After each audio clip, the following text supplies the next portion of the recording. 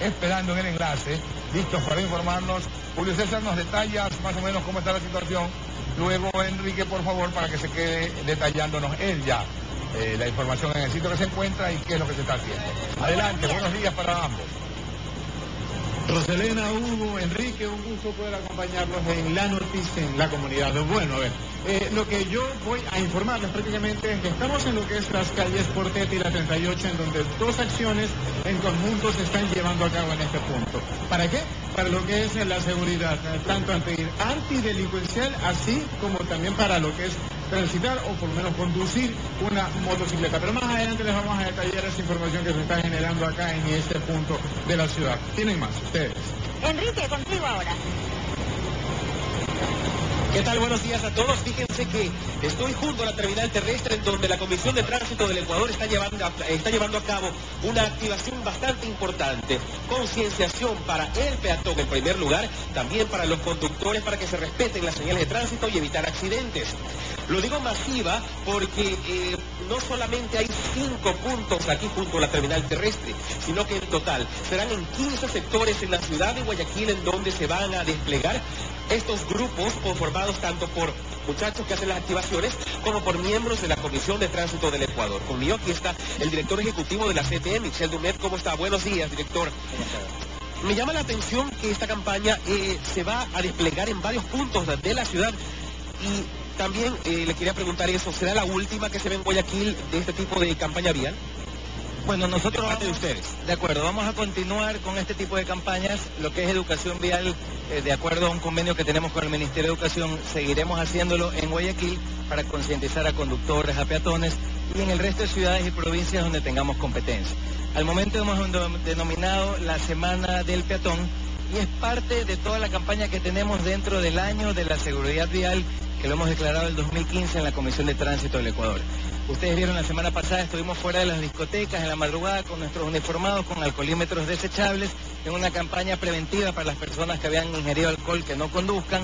Hace pocas semanas estuvimos en más de 60 colegios con niños explicándoles el correcto uso de las señales de tránsito para crear una cultura vial desde los más pequeños y tenemos toda una programación para lo que resta del año para seguir trabajando fuerte en la seguridad vial y lo importante es lograr reducir los accidentes. En el año 2015 tenemos una reducción del 48% de los accidentes en la ciudad de Guayaquil comparado contra el 2014. Es decir, las cifras son positivas, este tipo de campañas estamos seguros que van logrando que se mejoren estas continuamente. Si bien es cierto, ya la CTE deja Guayaquil en lo que es control de tránsito, seguiremos viendo a la CTE en este tipo de educación vial.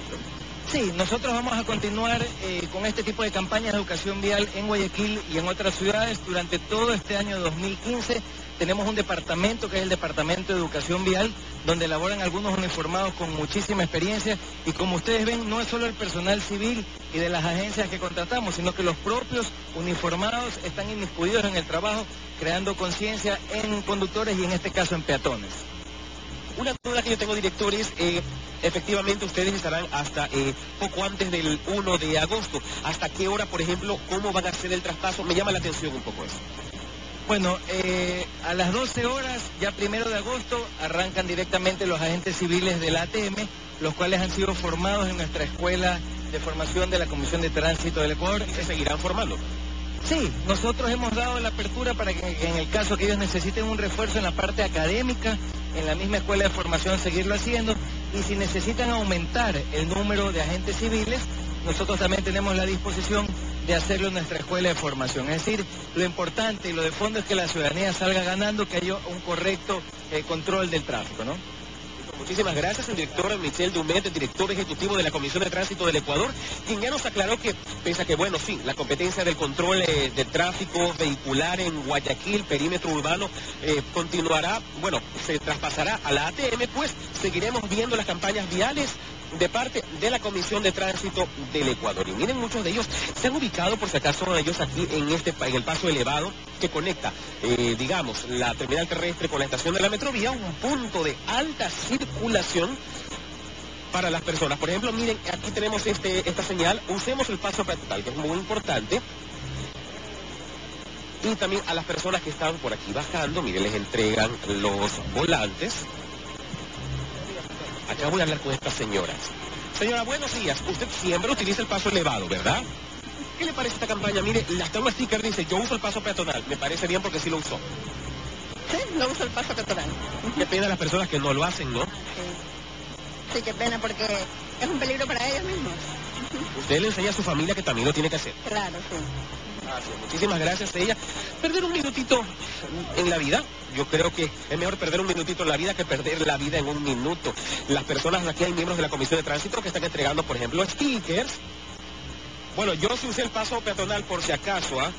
Al poder cruzar, porque imagínense, hasta que pueda dar la vuelta por allá por la tarazana, pues como que no llegaba. A las personas aquí no solamente se les se les pega este sticker por haber utilizado el servicio, sino que también se les habla un poquito acerca de la importancia de poder respetar las señales de tránsito, que es algo vital para poder mantener la integridad de cada uno de quienes no solamente atraviesan este tramo bastante con bastante tráfico vehicular, sino también quienes van hacia los diferentes puntos. Arriba también se encuentra otro grupo de muchachos en las activaciones, Sí, también allá entregando volantes para que las personas, los peatones, aprendan que tienen que cruzar por las líneas cebras y las líneas permitidas, no invadir posiblemente carriles que son destinados, por ejemplo, para la metrovía, que puede ser un peligro, o para buses de transporte urbano. Eso es lo importante, que las personas conozcan y sepan que deben de poder desenvolverse por las líneas seguras antes de poder circular. Estamos junto a la terminal terrestre, junto a la estación de la metrovía acá en donde podemos ver que esta campaña Hugo Rosalena no solamente va a estar aquí, por si acaso, está Gurdesa, está la Alborada, está en el centro, el 9 de octubre, está junto al Malecón y en otros puntos de Guayaquil. 15 puntos van a estar disponibles para que las personas puedan aprender un poco más de la seguridad. Y Hugo Rosalena, por favor, que tengas un minutito para que escuche a los vigilantes, para que escuche a las personas que están brindando este servicio, porque se trata de la seguridad de todos. Justamente es la vida del peatón la que se está tratando de, tratando digo, de proteger y ojalá el peatón haga caso. Claro, porque no es un juego nuestras ah, vidas. Exactamente, entonces después, claro, y lo primero que hacemos es reclamar. Y ahí, cuando hacemos el reclamo, eh, lo primero que estamos diciendo es, nadie hace nada, por gusto están ahí, eh, eh, es lo primero que hay. Y cuando hacen algo como este caso de la campaña, que molestan, voy apurado. ¿No? Así somos. Así somos, qué pena, pero... Y después exigimos. y después exigimos. Es parte de la realidad que vivimos lamentablemente. Enrique, gracias por la información.